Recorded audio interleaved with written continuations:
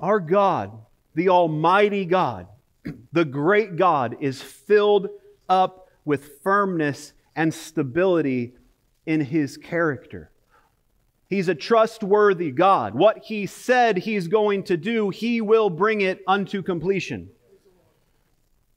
We see this all throughout the pages of Scripture, and we've seen it even as we would bring it home to our own lives. And we see how He has been faithful to care for us or to care for our children, to, to care for His church.